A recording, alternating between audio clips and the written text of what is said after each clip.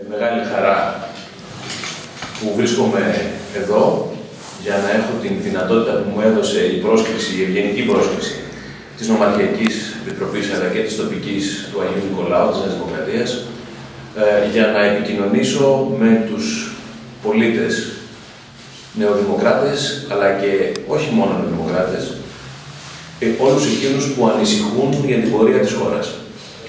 Να μιλήσουμε για τις πολιτικές εξελίξεις, να δούμε πού βρισκόμαστε και τι διαγράφεται μπροστά μας. Δύο κουβέντες μόνο για το περιβάλλον στο οποίο βρισκόμαστε. Μια και ερχόμαστε εδώ για την κοπή της πρωτοχρονιάτικης βασιλόπιτας, να θυμίσω ότι μόλις πριν λίγο καιρό, πριν 1,5 μήνα, όλοι ευχόμασταν τις ημέρες της πρωτοχρονιάς και των Χριστουγέννων ο ένας τον άλλον να είναι η χρονιά που ξεκινούσε τότε και που έχει ξεκινήσει το 2017 να είναι τουλάχιστον καλύτερη από την προηγούμενη, το 2016. Και η χρονιά ξεκίνησε και όλοι ζούμε αυτό το καιρό για ακόμα μία φορά μέσα στην αβεβαιότητα, μέσα στην αγωνία και στο άγνωστο. Γιατί η κυβέρνηση για ακόμα μία φορά, η τρίτη μέσα στα αυτά τα δύο χρόνια, για ακόμα μία φορά δεν μπορεί να φέρει τα αποτελέσματα που πρέπει στις διαπραγματεύσεις με τους δανειστές μας. Καθυστερεί και πάλι. Σπαταλάτε το χρόνο και φορτώνουν το λογαριασμό. Ένα λογαριασμό που πληρώνουν όλοι οι πολίτες, σε όλη τη χώρα. Και αυτό γίνεται, όπως σας είπα, για τρίτη φορά. Και τα παθήματα δεν έχουν γίνει μαθήματα. Η ίδια ερασιτεχνική και ιδεολογική τακτική ακολουθήθηκε και στο ξεκίνημα της ανάξιας διακυβέρνησης ΣΥΡΙΖΑ-ΝΕΛ και οδήγησε στο αχρίαστο και το πιο σκληρό στα χρόνια της κρίσης μνημόνιο. Μετά η ίδια τακτική, δηλαδή να σπαταλιέται ο χρόνος και να φορτώνεται ο λογαριασμό, ακολουθήθηκε για την πρώτη αξιολόγηση. Και όλοι ξέρουμε καλά πού οδήγησε.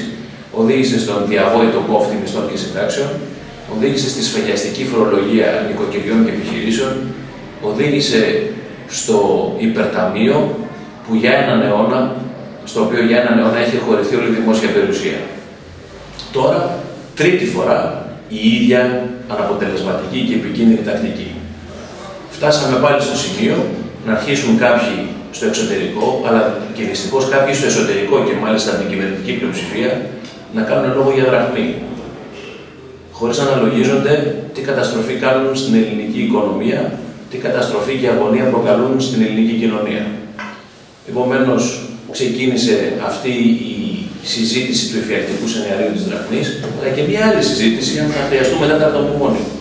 Δηλαδή, για ακόμα μια φορά, να σφίξει ο πολίτης, να σφίξουν οι επιχειρήσεις, να σφίξουν τα νοικοκυριά της ζώνης τους.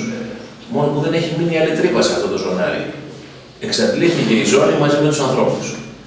Όλα αυτά, αλλά και άλλα για τα εθνικά θέματα, για τις προκλήσεις στην κοινωνία, για τις προκλήσεις στην πατρίδα μας, για την αντιμετώπιση του προσφυγικού, που πηγαίνει από μέρα-μέρα, πηγαίνει όλο και χειρότερα. Για όλα αυτά θα έχουμε την ευκαιρία να συζητήσουμε και να επικοινωνήσουμε σήμερα το βράδυ. Προσβλέπω σε αυτή την συνάντηση.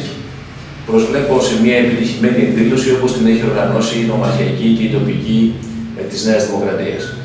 Από εκεί και πέρα είχα την ευκαιρία ήδη να επισκεφθώ και να θαυμάσω έναν ωραίο τόπο που δεν είχα ποτέ επισκεφθεί μέχρι τώρα στη ζωή μου, ερχόμενος προς τον Άγιο Νικόλαο, σταματήσαμε για λίγο στη Νεάπολη, που με εντυπωσίασε και με την ομορφιά της, αλλά και με τη ζεστασία των κατοίκων της.